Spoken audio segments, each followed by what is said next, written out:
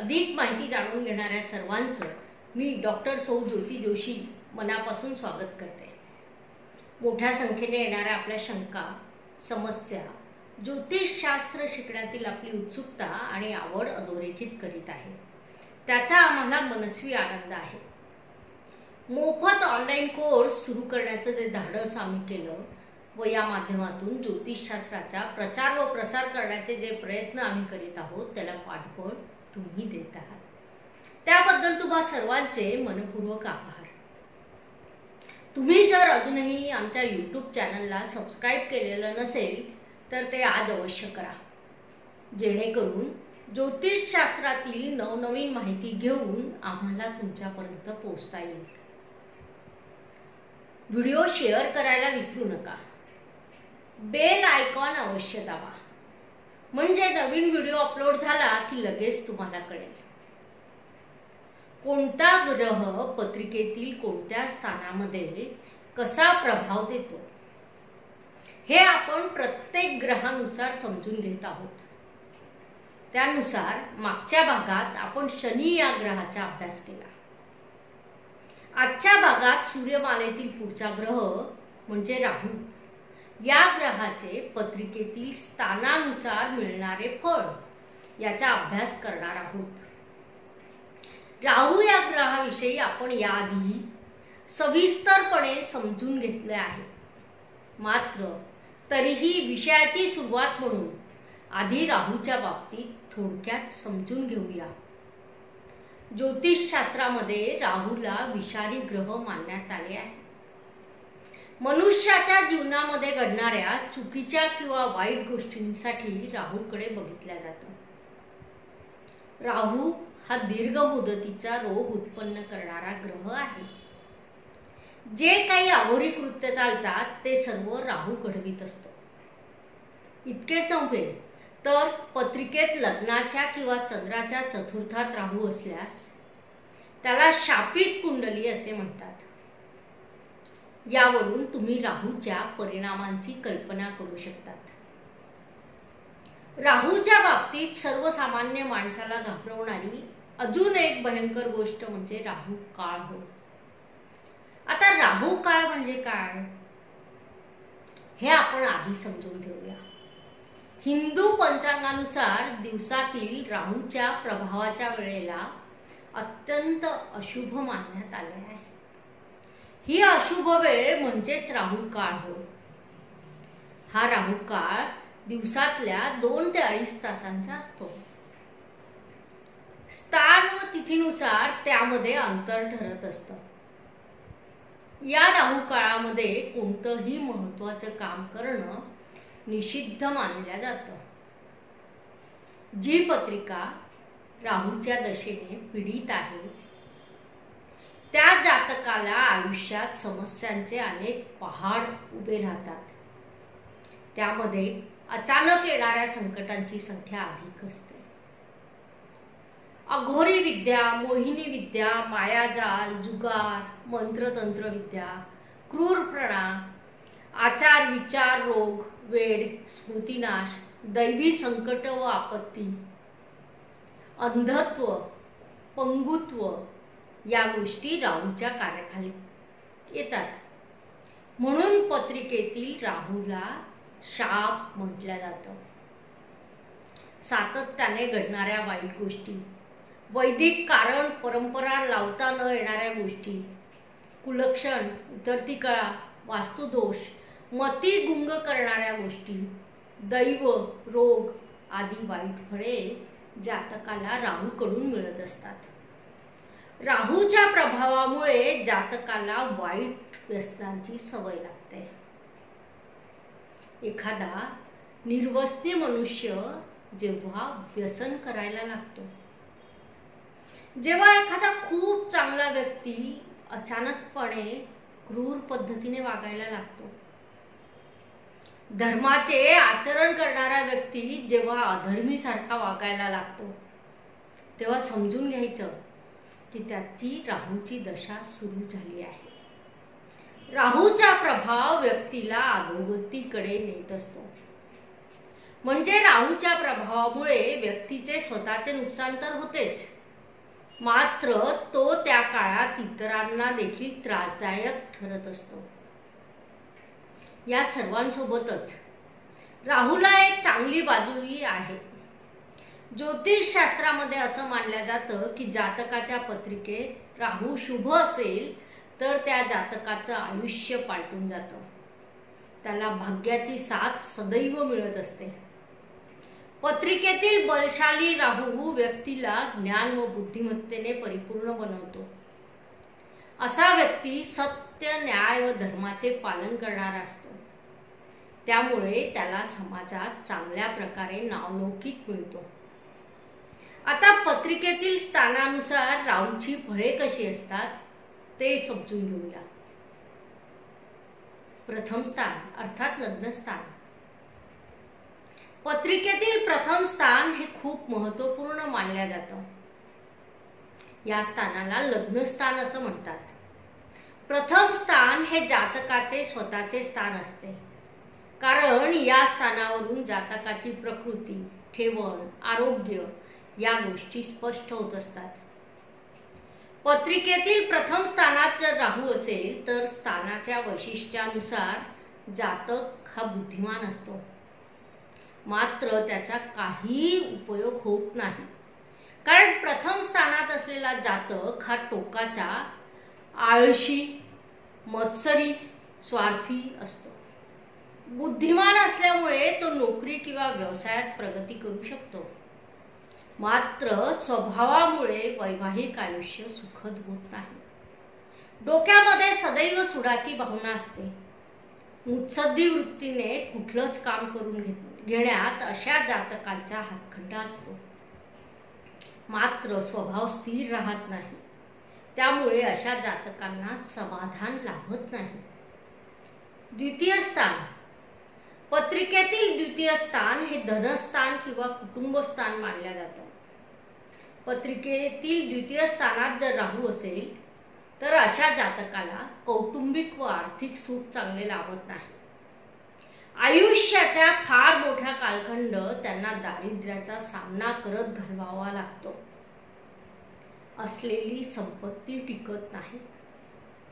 प्रत्येक कामामध्ये अडचणीचा सामना करावा लागतो. त्यात जर राहू अशुभ असेल तर जातक कर्जबाजारी होऊ शकतो. आरोग्यही चांगले लाभत नाही. विशेषत डोळ्यांचा त्रास होऊ शकतो. संपूर्ण आयुष्य अतिशय खडतर जाते. भाग्योदय फार उशिराने होतो. तृतीय स्थान. पत्रिकेतील तृतीय स्थान हे पराक्रमाचं स्थान मानलं जातं. तसेच आवडीनिवडी लहान भावंड शेजारी छोटे प्रवास आदी गोष्टीही तृतीय स्थानावरून बघितल्या जातात. पत्रिकेतील तृतीय स्थान हे राहूला मानवणारे स्थान आहे. या स्थानात राहू शुभ असता. जातकाचा पराक्रम वाढीस लागतो. आर्थिक संपन्नता व प्रत्येक कामात यश राहू जातकाला मिळवून देतो. सुख समृद्धी प्राप्त होऊन भावंड व शेजाऱ्यांशी त्यांचे चांगल्या प्रकारचे संबंध तयार होतात. मात्र हाच राहू जर अशुभ असेल तर याच्या विरुद्ध फळं जातकाला भोगावी लागतात. तो कुठल्याही राशीचा असला तरी जातकाचा पराक्रम वाया जातो. सुख समृद्धी टिकत नाही. भावंडांशी वाद होतात. चतुर्थ स्थान. पत्रिकेतील चतुर्थ स्थानावरून मातेचं सुख जागा वास्तू आदी गोष्टींचा बोध होत असतो. पत्रिकेतील चतुर्थ स्थान हे राहूला न मानवणारे स्थान आहे. कारण चतुर्थ स्थानातील राहू जातकास अशुभ फळ देतो. मातेचं सुख प्रेम वाहन जागा आदी कुठल्याही दृष्टिकोनातून जातकाला चांगली फळं राहूकडून प्राप्त होत नाहीत. जातकाचं संपूर्ण आयुष्य हे काळजीत जातं. राहूच्या प्रभावामुळे घरातील वातावरण दूषित झालेलं असतं. सुख समाधान त्यात टिकत नाही. जागा पछाडलेली वाटते. जातकाला अपघात होऊ शकतात. तसेच त्याला विषारी प्राण्यांपासून धोका राहू शकतो. पत्रिकेतील पंचम स्थानावरून संपत्ती व कलाकौशल्य पाहिलं जातं. पत्रिकेतील पंचम स्थान हे राहूसाठी न मानवणारे स्थान आहे. पंचम स्थानात जर राहू शुभ असेल तर जातक शेअर मार्केटमध्ये यश मिळवणारा असतो. तो राजकारणात यशस्वी होऊ शकतो. कार्यक्षेत्रात यश प्राप्त होत असल्यामुळे त्याची आर्थिक स्थिती उत्तम राहते. मात्र हाच राहू जर अशुभ असेल तर जातकाला याच्या विरुद्ध फळे देतो. जातकाची वृत्ती चांगली राहत नाही. तो संतती सुखाला पारखा होतो. सांसारिक आयुष्य वाईट जातं आर्थिक परिस्थिती बिघडते. सष्टम स्थान. पत्रिकेतील सष्टम स्थानावरून आजार व शत्रू पाहिले जातात. म्हणजे या स्थानावर जातकाच्या आयुष्यातील वाईट बाजू पाहिल्या जातात. मात्र पत्रिकेतील सष्टम स्थान हे राहूला मानवणारे स्थान आहे. या स्थानातील राहू जातकाला संपन्नता प्रदान करतो. जातक स्वतःच्या हुशारीने पराक्रम करून यश मिळवतो. मात्र शत्रूची संख्या जास्त असल्याने त्याचा त्रास त्याला सुटत नाही. त्यात जर राहू अशुभ असेल तर शत्रूंचा त्रास जास्तच वाढतो. विचित्र आजार जातकाला जडू शकतात. नोकरीतील दर्जाही खालचा राहू शकतो. सप्तम स्थान. पत्रिकेतील सप्तम स्थान हे विवाहाचं प्रमुख स्थान मानलं जातं. म्हणजे या स्थानावरून जोडीदाराचं सुख बघितलं जातं. पत्रिकेतील सप्तम स्थानही राहूला न मानवणारे स्थान आहे. राहूच्या प्रभावामुळे जातकाचं वैवाहिक आयुष्य बिघडतं. विवाह उशिरा होणे विवाह मोडणे घटस्फोट होणे पत्नी सुंदर किंवा चांगली नसणे वैवाहिक सौख्य न लाभणे अशा समस्यांनी जातकाचं आयुष्य भरलेलं असतं. सोबतच अपघात भांडणे बेताल वागणे यामुळे जातकाचं नुकसान होत असतं. धनसंपत्तीही चांगली राहत नाही. या सर्व कारणामुळे जातक वेड्या वाकड्या मार्गाला जाऊ शकतो. मात्र राहू जर शुभ असेल तर तो वाईट फळांची तीव्रता कमी करतो. अष्टम स्थान. पत्रिकेतील अष्टम स्थान हे मृत्यू स्थान मानलं जातं. त्यामुळे या स्थानावरून जातकाची प्रकृती व जीवनमान बघितलं जातं. अष्टम स्थानातील राहू कोणत्या राशीचा आहे यावरून त्याची शुभ अशुभ फळे मिळत असतात. अशा जातकाला आयुष्य भरपूर असतं. मात्र त्याला आजारही दीर्घकाळाचा असतो. आर्थिक संपन्नता चांगली राहते. मात्र ती विनासायस मिळत नाही. त्यात जर राहू अशुभ असेल तर जातक अनितीच्या मार्गाने जाऊ शकतो. त्याचे वागणे धर्माच्या विरुद्ध असल्याने बदनामी होऊ शकते. नवम स्थान. पत्रिकेतील नवम स्थानाला भाग्याचं स्थान म्हटलं जातं. लांबचा प्रवास या स्थानावरच बघितला जातो. पत्रिकेतील नवम स्थान हे राहूसाठी न मानवणारे स्थान आहे. राहूच्या प्रभावामुळे जातक हा हुशार विद्वान व भाग्यवान असतो. तो देवाधर्माप्रती अभिमान बाळगणारा असतो. तीर्थयात्रेची त्याला आवड असते. आर्थिक सुख कौटुंबिक सुख चांगले असते. मात्र हाच राहू जर अशुभ असेल तर जातक नास्तिक होऊ शकतो. देवधर्माचा त्याला तिटकारा येतो. त्याची वर्तणूक वाईट होते म्हणून तो सर्वांसाठी अप्रिय होतो. नैतिकता तर त्याच्या गावीही नसते तो धर्मांतर करू शकतो. दशमस्थान पत्रिकेतील दशमस्थान हे कर्मस्थान म्हणून ओळखले जाते. कर्मामुळे अर्थार्जनासह लौकिकही प्राप्त होतो. त्यामुळे या गोष्टी दशम स्थानावरून पाहिल्या जातात. पत्रिकेतील दशम स्थान हे राहूला मानवणारे स्थान आहे. दशम स्थानातील राहू जातकाला मानसन्मान कीर्ती मिळवून देतो. राहूच्या प्रभावामुळे जातक हा मोठ्या व्यवसायात किंवा नोकरीमध्ये अधिकारी पदांशी संबंधित असतो. राजकारणात तो उच्च पदापर्यंत पोहोचतो. आर्थिक संपन्नता टिकून राहते. सर्वांशीही मैत्रीपूर्ण संबंध त्यांचे असतात. मात्र हाच राहू जर अशुभ असेल तर विशेषत राजकारणात मानहानी होऊ शकते. नोकरी व्यवसायासह समाजातही अनेक अडचणी व कटकटींना सातत्याने तोंड द्यावे लागते. एकादश स्थान. पत्रिकेतील एकादश स्थान हे लाभस्थान म्हणून ओळखलं जातं. या स्थानावरून जातकाचे मित्रमंडळी व त्याचे जवळचे नातेवाईक लक्षात घेतल्या जातात. पत्रिकेतील एखादं स्थान म्हणजे लाभस्थान हे राहूला विशेष मानवणारे स्थान आहे. त्यामुळे या स्थानातील राहू जातकाला शुभ फळे देतो. लाभस्थानातील राहू जातकाची आर्थिक स्थिती सुदृढ करीत असतो. इतकी की जातक श्रीमंत म्हणूनही ओळखला जाऊ शकतो. राहूकडून जातकाला बुद्धिमत्ता प्राप्त झाल्याने तो स्वतःच्या बुद्धी पराक्रमाने उच्च पदापर्यंत पोचतो. सर्व सुख त्याला प्राप्त होतात. मात्र हाच राहू जर अशुभ असेल तर जातकाची इच्छापूर्ती होत नाही. आर्थिक स्थितीही बिघडते. राहूच्या प्रभावामुळे जातक वाम मार्गाला जाऊ शकतो. द्वादस्थान पत्रिकेतील द्वादस्थानाला व्ययस्थान असे म्हटले जाते. व्यय म्हणजे हानी किंवा नुकसान. हानी ही शारीरिक मानसिक आर्थिक अशा कुठल्याही प्रकारची असू शकते. पत्रिकेतील द्वादस्थान हे राहूला मानवणारे स्थान आहे.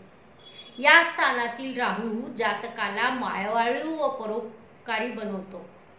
त्याची आर्थिक स्थिती चांगली राहून तो परदेश गमनही करू शकतो. त्याला अध्यात्मामध्ये विशेष रुची असते. गुंतवणूक चांगली राहून प्रगतीही होते. तो शत्रूवर विजय मिळवतो. मात्र हाच राहू जर अशुभ असेल तर तो जातकाच्या हातून पापकर्म घडवतो. त्याला आर्थिक सुख प्राप्त करू देत नाही. जातक वाईट संगतीत फसू शकतो. आपल्या अनैतिक वागणुकीमुळे त्याला तुरुंगवास भोगावा लागू शकतो. राहूच्या पत्रिकेतील स्थानानुसार मिळणारे फळ समजून घेण्यासाठी एवढी माहिती पुरेशी आहे. आजच्या भागात आपण इथेच थांबूया. पुढील भागात आपण पुढील ग्रहाचे पत्रिकेतील स्थानानुसार मिळणारे फळ याविषयी समजून घेऊया. ज्योतिषशास्त्राविषयी एकेका विषयाचा आपण अभ्यास करीत आहोत. हे सर्व शिकण्यासाठी आपला उत्साहही वाढला असेल याची मला खात्री आहे. मात्र त्याचबरोबर हेही सत्य आहे की ही सर्व माहिती शास्त्रीय असल्यामुळे एकदा ऐकून समजण्याची शक्यता कमी म्हणून व्हिडिओ पुन्हा पुन्हा बघा.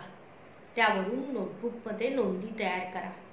तुमच्या समस्या असतील शंका असतील त्या तुम्ही मला ऑनलाईन विचारा. म्हणजे एकाच वेळी अनेक जणांना ती समस्या आणि तिचं निरसन समजू शकेल. पुढच्या व्हिडिओची वाट पहा.